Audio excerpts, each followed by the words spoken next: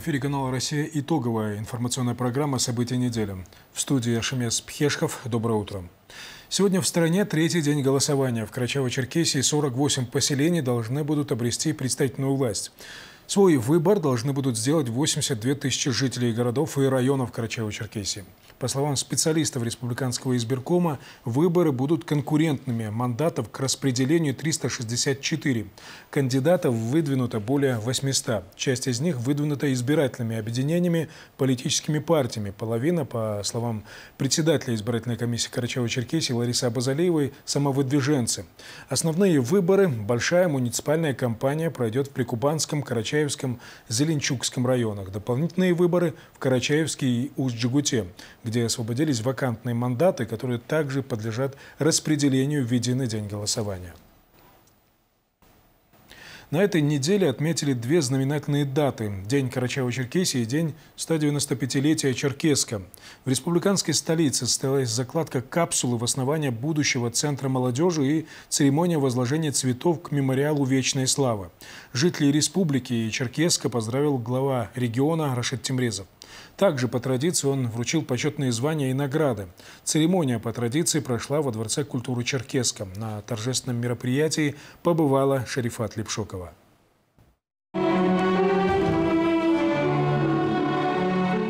Этот день в зале собрались множество людей, внесших неоспоримый вклад в развитие республики. Это были деятели науки, культуры, медицины, представители власти и общественных организаций. Всех их с Днем Карачаева-Черкесии поздравил глава республики. Он поблагодарил собравшихся за труд, а главное за результаты, способствующие развитию республики. Приводятся в порядок улицы и населенные пункты.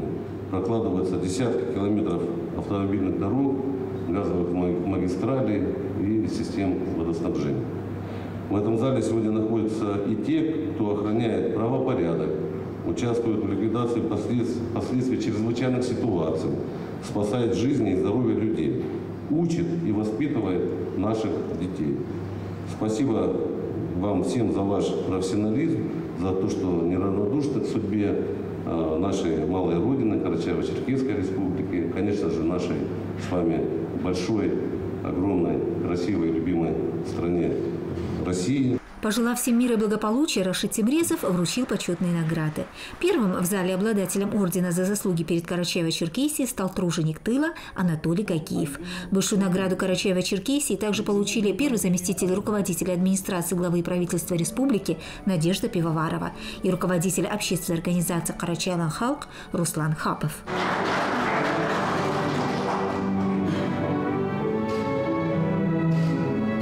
Звания «Заслуженный врач Карачаева-Черкесии» были присвоены врачу-педиатру Ирине Узденовой и стоматологу Исмаилу Кучкарову. Заслуженными работниками государственной службы стали председатель территориального избиркома Урубского района Сергей Терещенко и глава администрации Прикубанского района Мухаммад Амин Чумаев. Ветерану сферы индустрии и туризма Евгению Кудели было присвоено звание заслуженного работника этой отрасли. Поздравляю всех с праздником великим, с нашим Днем Карачаева-Черкесии. Вы правильно сказали, нет лучшего места на свете, поверьте, я весь мир объездил. И сравнить даже не с чем. И сказать, что вот эта награда, ну, у меня и правительственная награда есть, самая высшая награда в моей жизни – как человек, всю жизнь проработавший в сфере туризма, он не мог не отметить огромные перемены, произошедшие в этой сфере. Евгений Кузеля напомнил, что республика всегда славилась своими горными маршрутами, если их возродить, то можно привлечь еще множество туристов со всей страны. На торжестве почетные звания и награды всего получили около 30 человек, среди которых был известный певец и музыкант Ренат Каримов. Ему присвоили звание заслуженного артиста Карачаева-Черкесии.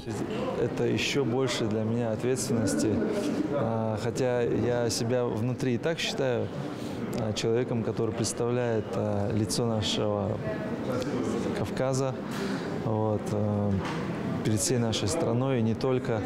Вот, а это официальное этому подтверждение и еще больше ответственности.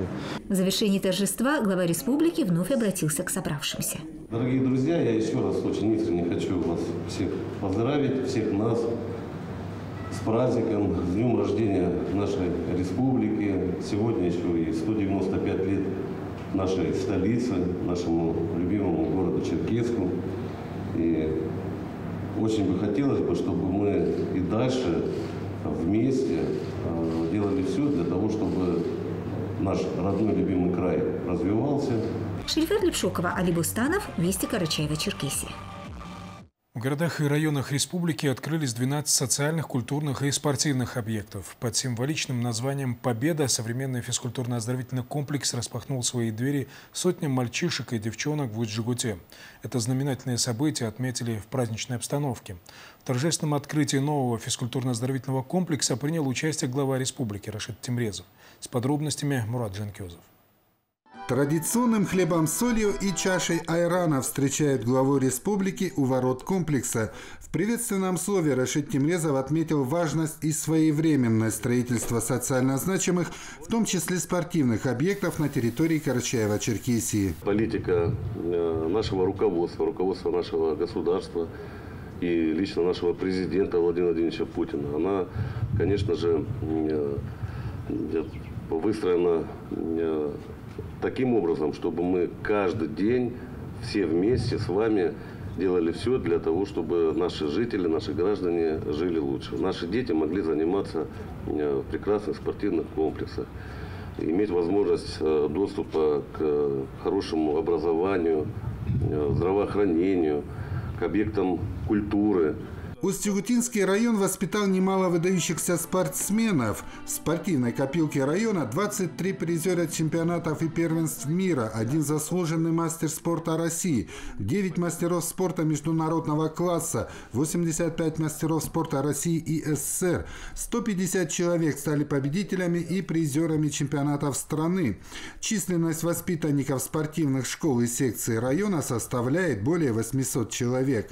Я уверен, что вот э, здесь э, воспитается большое э, количество чемпионов, победителей. Других вариантов уже у наших детей нету. Те, которые переступят этот порог, быть только победителями и приносить славу не только родному городу, району, родной республике, но и нашей стране. Самые теплые слова были адресованы ветеранам спорта. Они и сегодня продолжают воспитывать сотни мальчишек и девчонок, прививая им лучшие спортивные традиции. Я хочу выразить слова благодарности нашим э, ветеранам, ветеранам спорта, которые всю свою жизнь посвятили э, тому, чтобы наши э, дети росли крепкими, сильными, здоровыми. Затем Рашид Тимрезов осмотрел универсальную спортивную площадку, которая включает в себя мини-футбольное поле с разметкой для большого тенниса, гандбольную и две баскетбольные площадки. Для юных футболистов глава республики провел небольшой мастер-класс.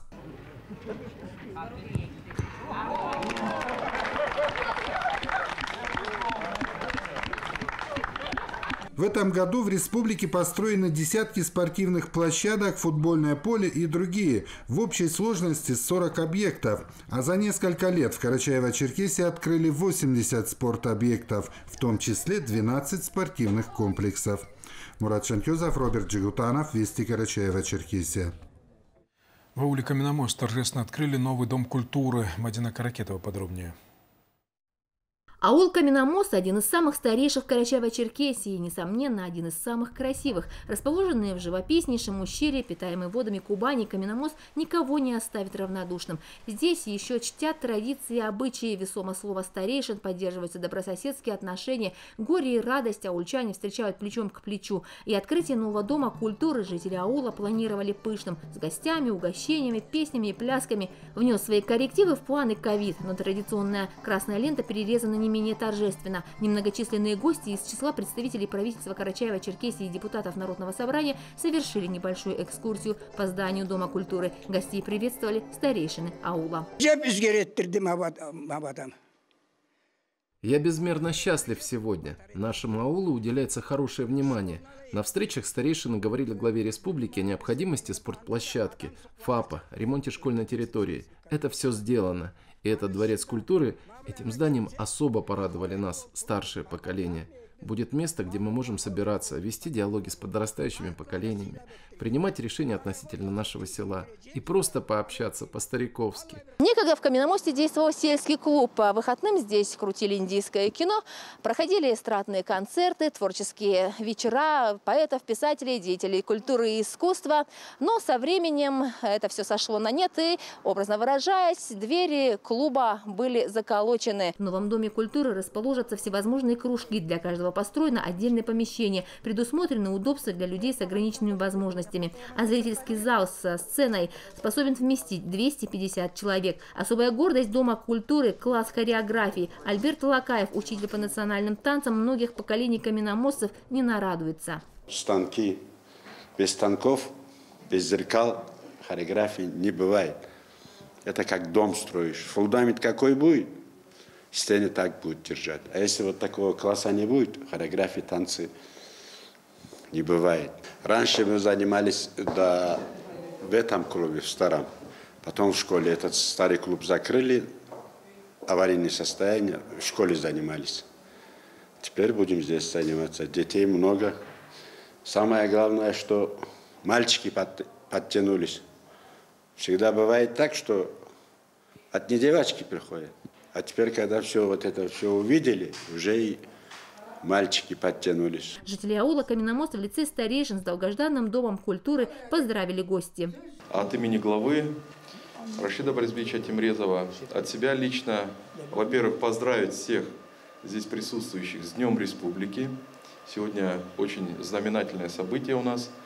Вот, и поблагодарить э, всех, кто принимал участие э, в проведении сегодняшнего мероприятия. А, этот Дом культуры построен в рамках приоритетного национального проекта «Культура». Анзор Иркенов добавил, что дома культуры строятся во всех селах и аулах республики. Этот вопрос на личном контроле у главы Карачаева-Черкесии. Каменномост по праву можно назвать кузницей знаменитостей. Первый архитектор города Карачаевска Али Султан Гирюгов, председатель исполкома областного совета Карачаевской автономной области Курманали Курджиев, известный писатель Назифа Кагиева, капитан атомной подводной лодки, капитан первого ранга Мурат Алботов, герой России Дугирби Узденов, знаменитые во всем мире спортсмены-вольники, братья Тимрезовы и Караевы. Если продолжить, список получится внушительным. Каменномост имеет еще больше потенциал. Еще многие аульские дети впишут свои имена золотыми буквами в историю России, в том числе и в культурную, и спортивную ее страницы. Мадина Каракетова, Расул Бердиев, Вести Карачева-Черкесия, Каменномост.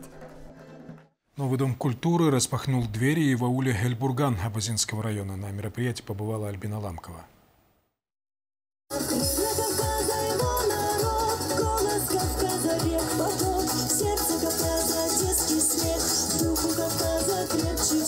Для жителей Эльбургана открытие Дома культуры стало настоящим праздником. Теперь жизнь аульчан станет ярче и интереснее, отмечали все гости торжества. Все эти объекты построены в первую очередь э, благодаря, конечно, активной работе главы нашей республики, правительства, команде с главами районов, поселений. Это огромный, большой труд. Благодаря этой работе мы смогли участвовать в федеральных программах. И сегодня на выходе мы видим это прекрасное, красивое здание.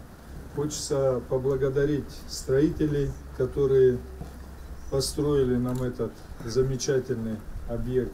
Мурат Озов, поздравив всех с праздником, выразил надежду, что в этом здании будут воспитываться хорошие талантливые люди, которыми можно гордиться.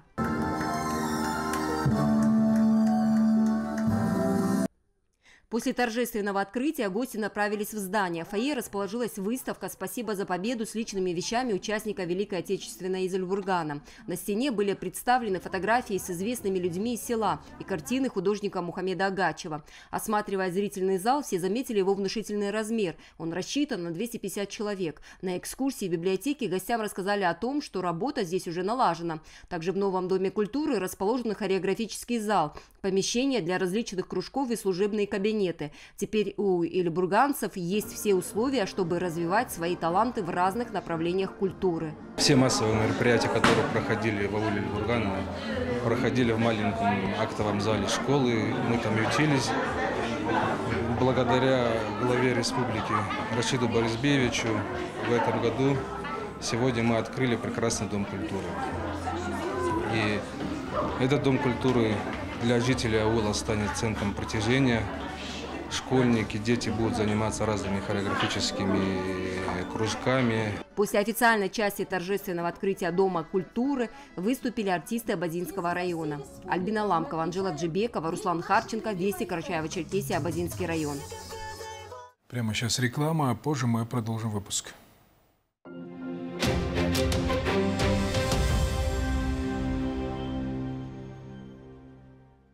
Все, что вас радует, обязательно будет с кредитом наличными в Минбанке.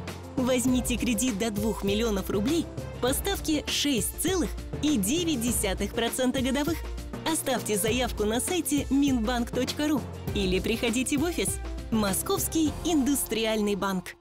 Продаются полнорационные комбикорма для всех видов птицы, а также молодняк уток разных пород. По вашему заказу изготовим любые корма для других видов животных. Плем-репродуктор Зеленчукский. Телефон 8, код 87 878 5 45 70 и 8 925 711 98 90.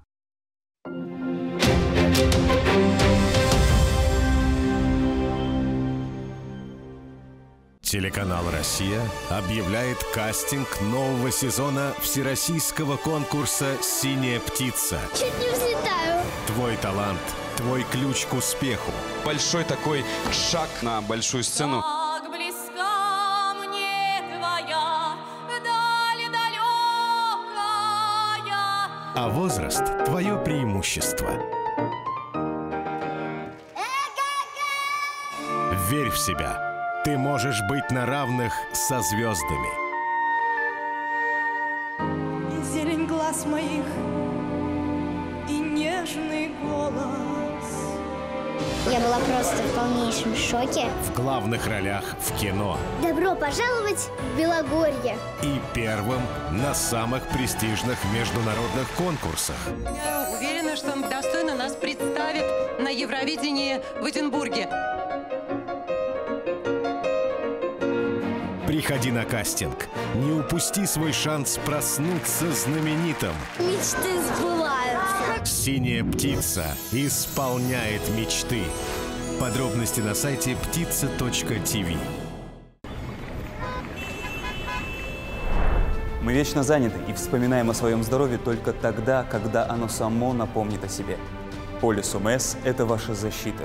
Он гарантирует ваши права на бесплатную медицинскую помощь. Как найти своего страхового представителя? Это просто. Звоните по телефону контакт-центра, указанному на памятке, полученной вами при выдаче полиса ОМС, или на сайте вашей страховой медицинской организации. Все крупные страховые медицинские компании имеют круглосуточные колл-центры, в которые можно дозвониться в течение 20 секунд и получить ответ на интересующий вас вопрос. Федеральный фонд обязательного медицинского страхования. Вы знаете, что теперь в налоговой инспекции можете моментально решить проблемы с обслуживанием, оставить свой отзыв и оценить качество услуги. Для этого используйте специальную ссылку или QR-код, которые размещены на информационном стенде, а также QR-код на талончике с номером на обслуживание. Отсканируйте код при помощи вашего телефона или планшета любой программой для чтения QR-кодов. Укажите услугу, выберите смайлик, введите сообщение и отправьте его. Сообщение мгновенно поступит непосредственно руководству инспекции, и вам оперативно будет оказана помощь. Длинная очередь, недостаточно посадочных мест, другие проблемы. Используйте QR-код. Попробуйте. Это быстро, просто и удобно.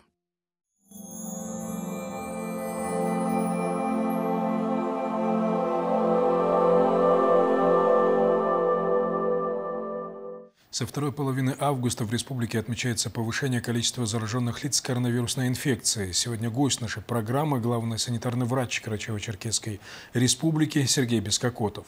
Он ответит на вопросы, волнующие наших телезрителей, в том числе и на вопрос, когда появится вакцина в нашей республике, какая категория лиц получат ее первыми. Добрый день, Сергей Васильевич. Да. Спасибо, что нашли время и пришли принять участие в нашей программе. Сергей Васильевич, первый вопрос касается эпидемиологической ситуации в нашей республике. Действительно ли в Карачаево-Черкесии вот сейчас э, началась вторая волна распространения коронавирусной инфекции? Да, я понял. Я сейчас не могу сказать, какая у нас волна идет, и э, первая или вторая, и дать какой-то прогноз на ближайшее будущее. Но то, что у нас фиксируется рост заболевших, и этот рост начался где-то примерно с середины августа этого года, это точно. На сегодняшний день мы как бы регистрируем ну, порядка несколько десятков человек э, в ежедневном режиме, чего раньше у нас э, не было. И вот сегодня у нас уже за окном сентябрь, и пока снижения заболеваемости я не наблюдаю. То есть количество регистрируется примерно в одних и тех же числах количества заболевших. А с чем связано возникновение вот этого, э, если это не вторая волна, но роста заболеваемости коронавирусом?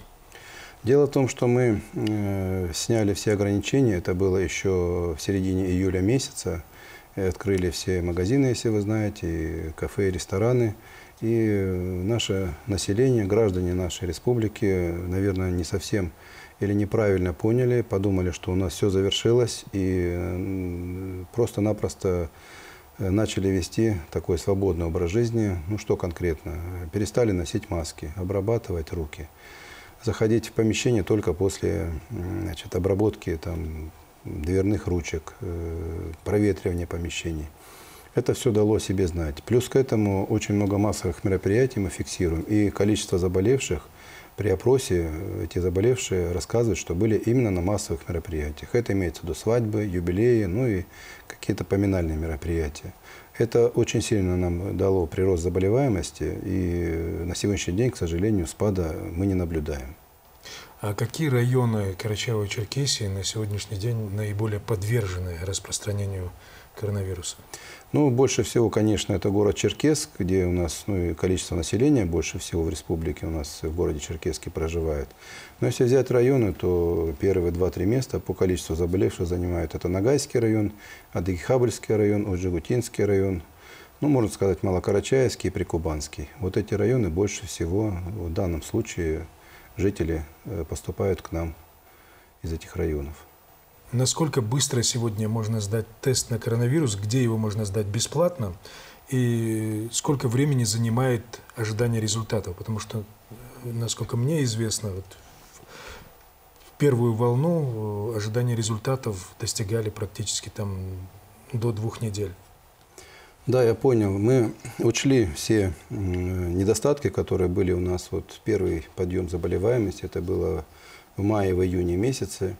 Э, были приняты соответствующие меры. Ну, что конкретно? У нас было закуплено дополнительное оборудование, были обучены дополнительные специалисты для производства лабораторных исследований. Разработана специальная компьютерная программа.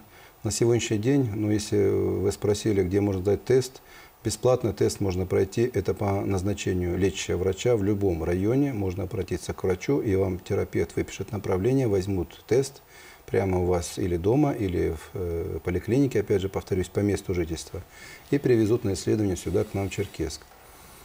То, что касается времени ожидания, сейчас максимальное время ожидания не более суток.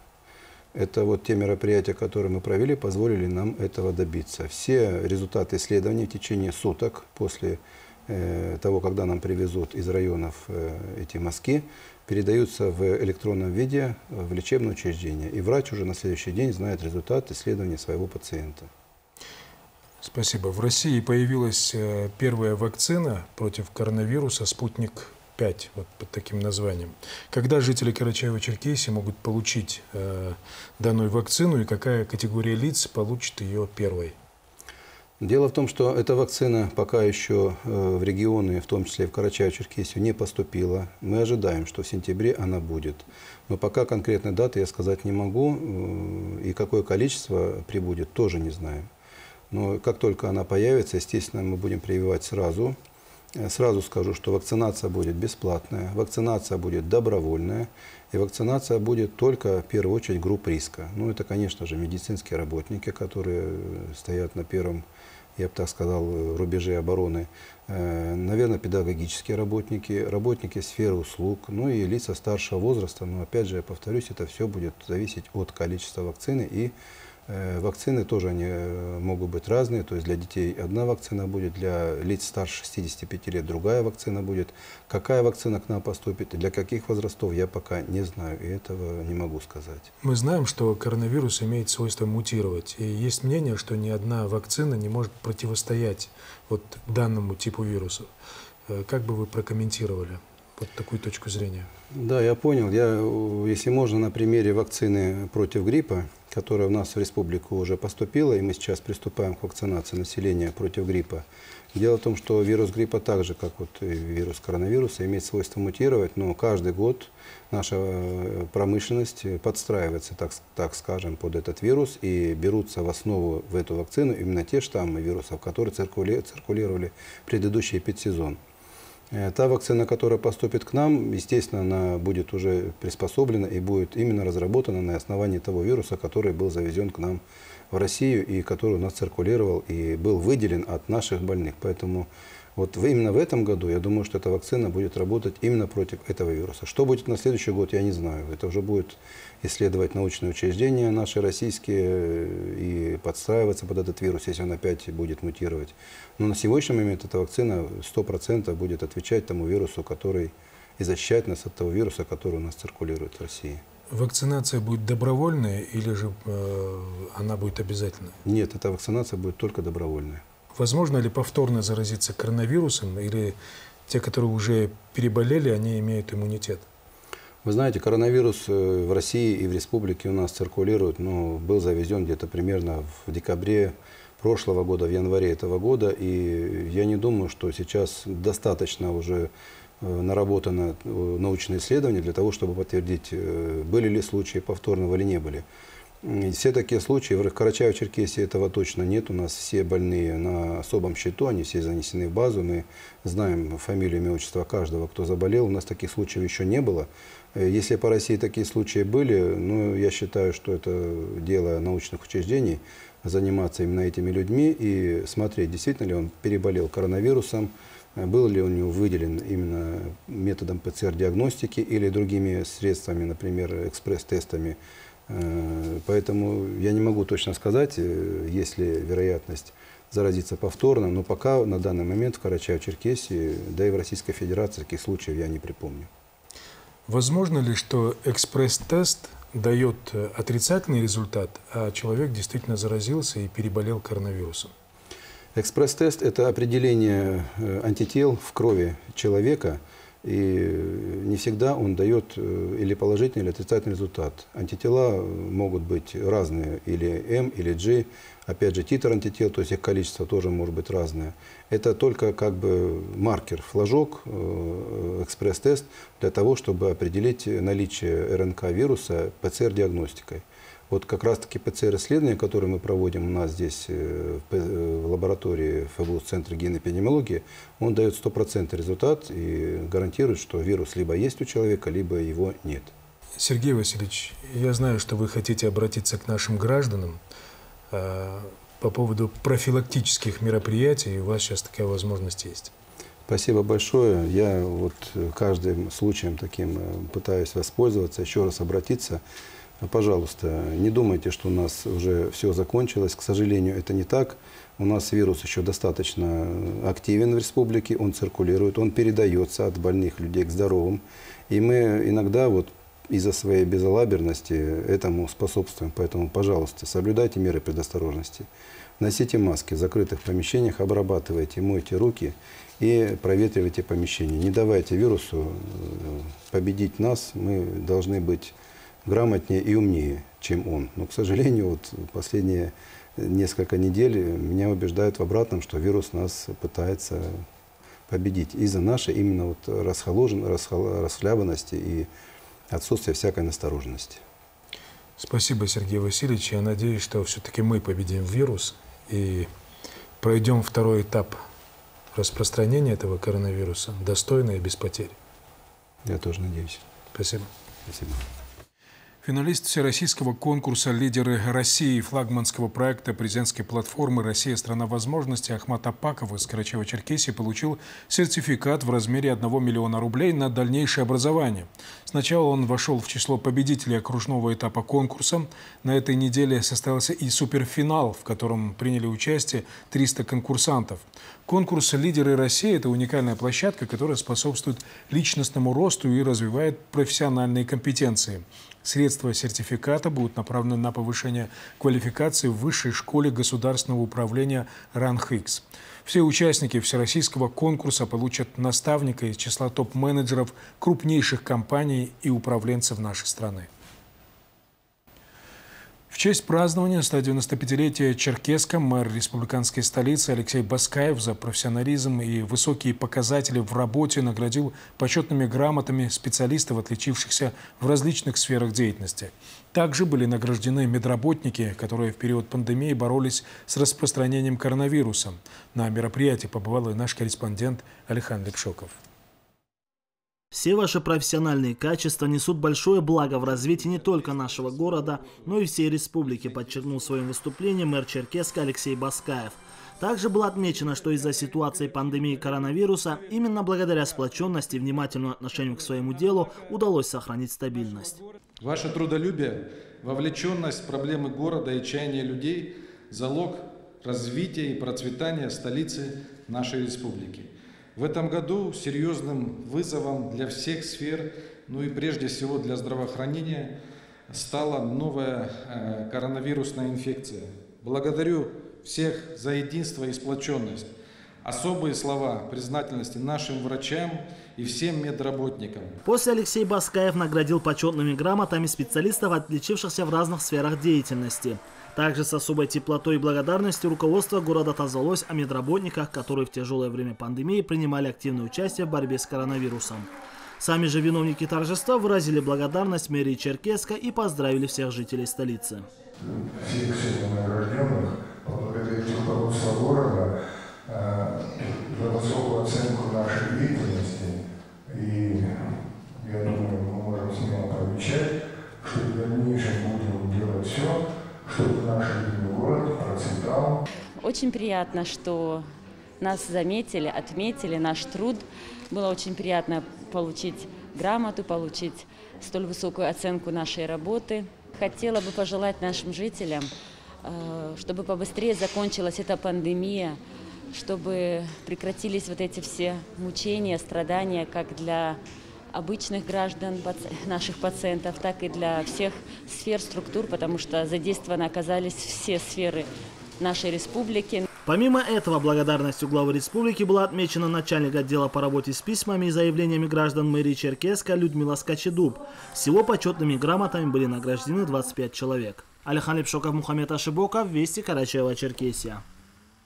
Нетривиальная история для Карачаева-Черкесии. Впервые в республике проходит благотворительный арт-аукцион, с идеей проведения которого выступила организация «Самира», занимающаяся вопросами оказания помощи нуждающимся при содействии Министерства культуры республики. В экспозиции представлены работы художников из Карачаева-Черкесии, Кабардино-Балкарии, Ставропольского края, Дагестана и Чечни. Более 60 картин разного уровня, от признанных мастеров Кавказа до тех, кто только начинает свой творческий путь, расположились в двух экспозиционных залах. Стартовые цены не аукционные, они ниже рыночных – но организаторы надеются, что за время проведения выставки аукциона они поднимут рейтинг. Все собранные средства будут направлены на приобретение лекарственных средств для тех, кому необходима помощь в период пандемии. Посмотреть на работы и прицениться можно в центре досуга «Очаг добра». Это вся информация, подготовленная нашими корреспондентами к итоговой программе «События недели». Я благодарю вас за внимание, и пусть в ваши дома приходят только добрые вести. Будьте с нами. До встречи.